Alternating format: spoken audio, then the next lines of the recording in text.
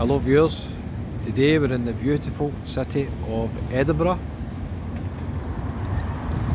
And we're just at the bottom of York Place where the tram line finishes. And we're outside the Conan Doyle pub. Sherlock Holmes fans will probably know Arthur Conan Doyle, creator of Sherlock Holmes, was born here, literally just born across the road I think. The houses used to be here many years ago but I think that's St George's Church across the road. And we've got St Mary's Cathedral.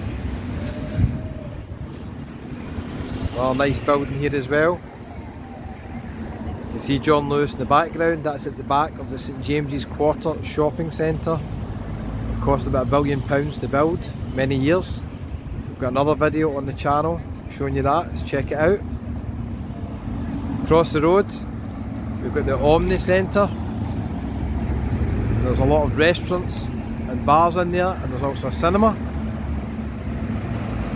And just down the road we've got the Edinburgh Playhouse Theatre. Let's take a wee wander down. Officially in Broughton Street at the moment.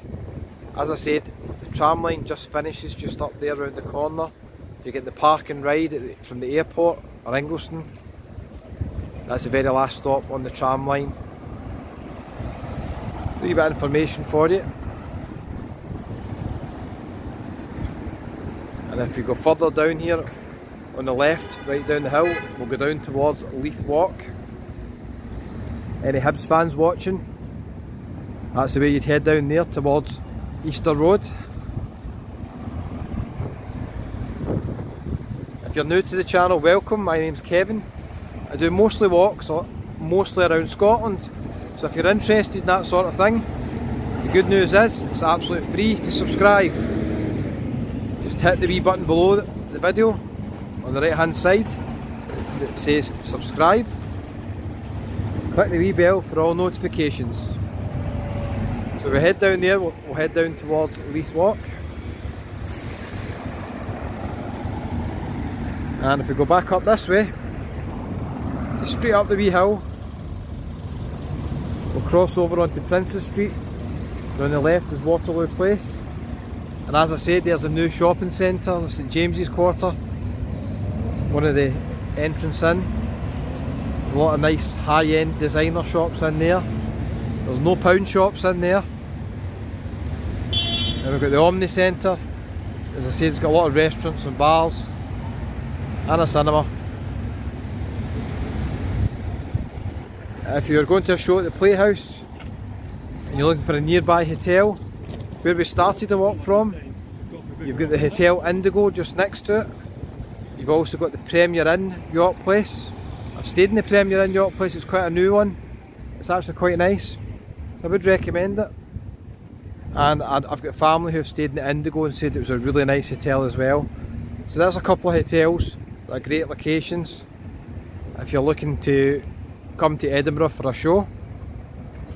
There's a playhouse. Another really nice building.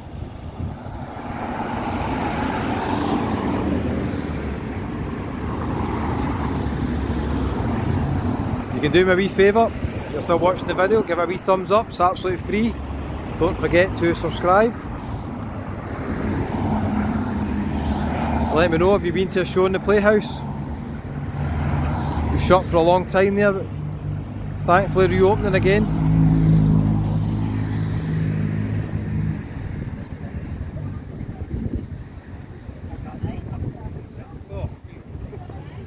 Another good hotel if you're going to a show at the Playhouse, if you're looking for a hotel within a one, two minute walk, just round the corner at Waterloo Place, you've got the Travelodge and you've also got the Apex Waterloo Place as well.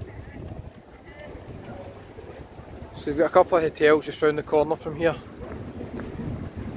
It's quite a good location, you're only five minute walk really from Princes Street.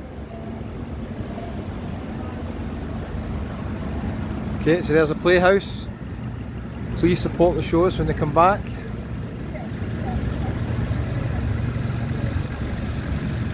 The bar next to it, Havana.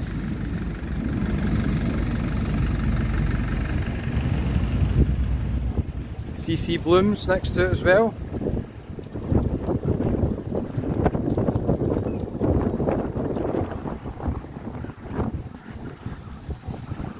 Very windy today in but It's actually very warm, but it's very windy. Okay, so we've got the Theatre Royal Bar. Very popular if you're going for a show next door. So if you look inside. Good news for Tennent's Lager fans, they sell Tennent's Lager in there on draft.